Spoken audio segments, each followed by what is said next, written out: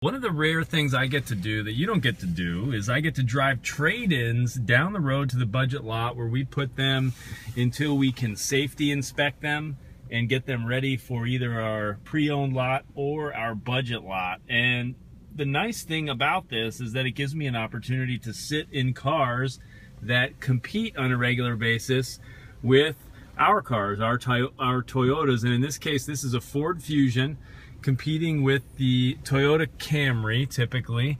And one of the things that stands out to me right off the bat, and I don't know if you can get a sense of it from this video or not, but you see those tiny little windows in the back, and even the way that rear window is slanted, the visibility in this car is not nearly what you get in a Camry. I mean, it's not even close.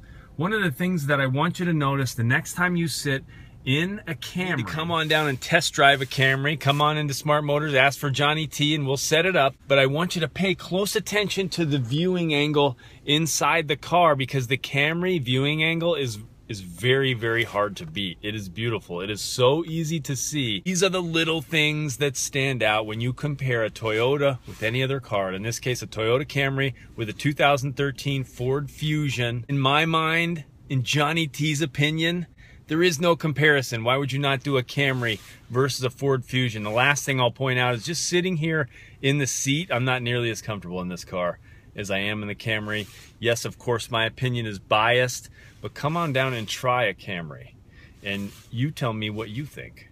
This is Johnny T, Smart Motors of Madison. Come on down, ask for Johnny T. Hope to see you soon.